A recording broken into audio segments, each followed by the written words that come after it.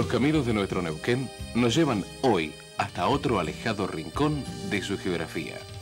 Un rincón luminoso que contiene una rica historia y paisajes incomparables.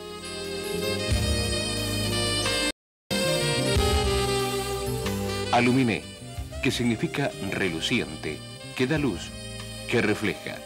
Ese es el nombre de este pueblito neuquino que visitaremos hoy.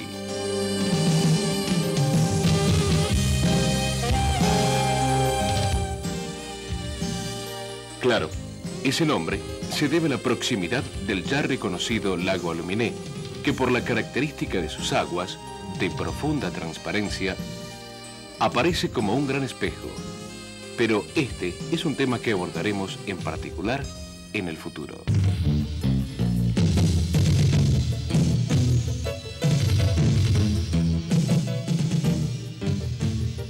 Existen diversos accesos para llegar a Luminé. Desde la capital, pasando por Zapala, el denominado acceso por Ragüe es el camino que se encuentra habilitado prácticamente todo el año. A pesar de las intensas nevadas en el invierno y gracias al trabajo del personal de vialidad provincial, esta ruta se conserva en buen estado atravesando hermosos paisajes.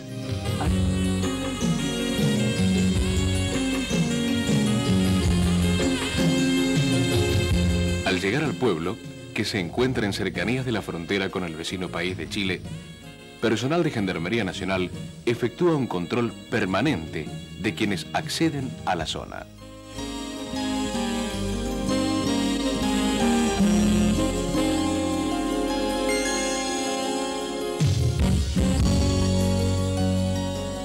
Quien ha estado alguna vez en Aluminé podrá notar que la evolución de la población es constante, ya que el proyecto de crecimiento de la localidad es un gran abanico de expectativas que pasan por la promoción turística y el aprovechamiento de fuentes de producción propias, entre estas, el proyecto de industrialización de recursos forestales de Pulmarí.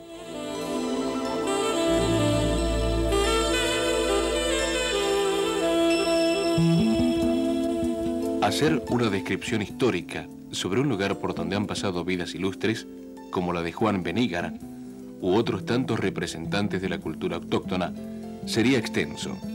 Entonces, nos vamos a las fuentes y conversamos con don Ramón Parra, uno de los pocos viejos pobladores que van quedando en Aluminé. Yo nací en el año 1906, el 15 de agosto, en el paraje Laguna Blanca. ¿Conoce? Sí, Bueno, ahí nací yo, que es el departamento Picón Lefú. Ahí, por ahí nací yo. Y de ahí me vine con mi madre, porque mi madre quedó viuda. Yo vine a trabajar a la estancia de, de don Gastón Rambó, el padre de estos Rambós que están ahora. Y ahí estuve yo hasta unos 7, 8 años. Después ella nuevamente se casó. Y de ahí, esta es una historia que yo tengo larga, lo que me voy co- acordando. De ahí lo fuimos nosotros, mi padre, mi padrastro, era un hombre chileno. Él se fue a Chile. Estuvimos en Pocón. En Pocón, de ahí lo, estuvimos un año, dos años estuvimos allá. Y trabajaba mucho en madera, muy, muy fuerte el hombre. Se, se acobardó, no, no le gustó. Entonces se vino otra vez para la Argentina, porque él había entrado joven aquí a la Argentina y entonces después volví allá por sacar terreno. Y nosotros lo, andábamos con él, con la fina mi madre.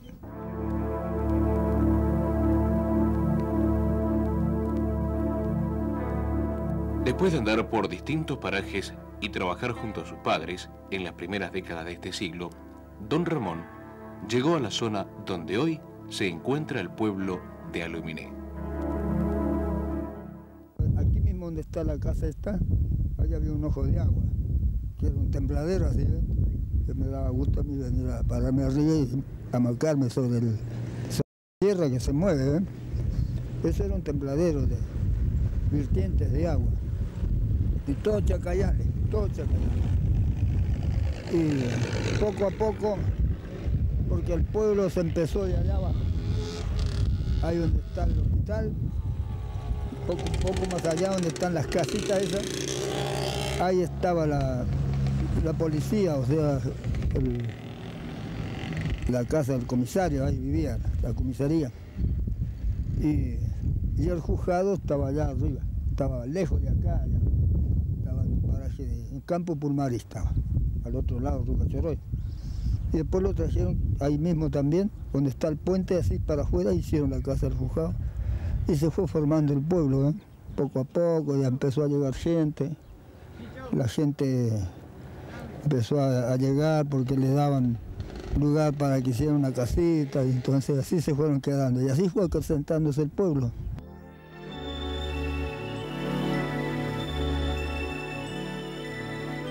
Juan Benígar, un sabio filántropo que llegó a estas tierras a través de una amistad con el historiador Félix San Martín, dejó, entre trabajos científicos, históricos y literarios, una huella aún más cabal a su paso por el lugar, sus hijos.